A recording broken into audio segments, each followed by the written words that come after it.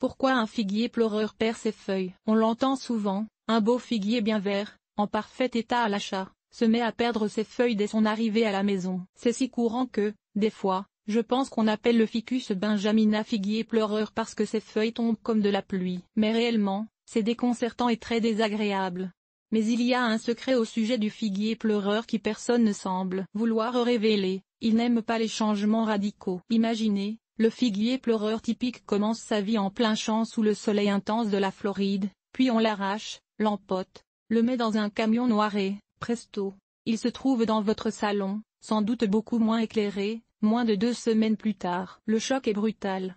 Et il n'est donc pas surprenant qu'il montre sa détresse en perdant massivement des feuilles. Heureusement, il y a un secret pour aider un figuier pleureur à bien faire la transition des tropiques à votre salon. Il s'agit de l'acclimater. Acclimatation maison pour acclimater un figuier pleureur. Serrez-le dans un grand sac transparent, un sac de nettoyage à sec ou un grand sac de poubelle transparent sera nécessaire pour les grands spécimens, dès que vous l'apportez à la maison. Puis fermez bien le sac.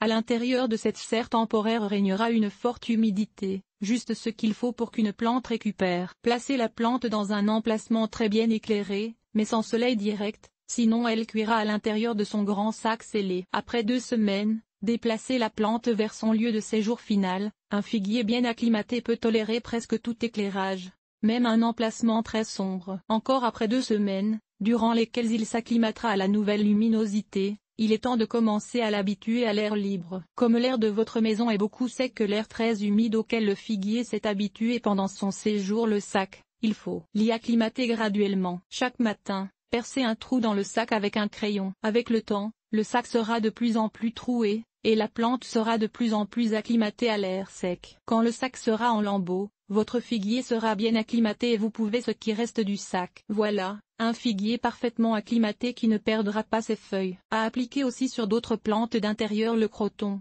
aussi, perd ses feuilles si on ne l'acclimate pas adéquatement. Cette même technique fonctionne aussi avec d'autres grandes plantes d'intérieur qu'on veut acclimater, notamment avec le croton, Codium variegatum, lui aussi réputé pour la chute massive de feuilles quand on le change de place.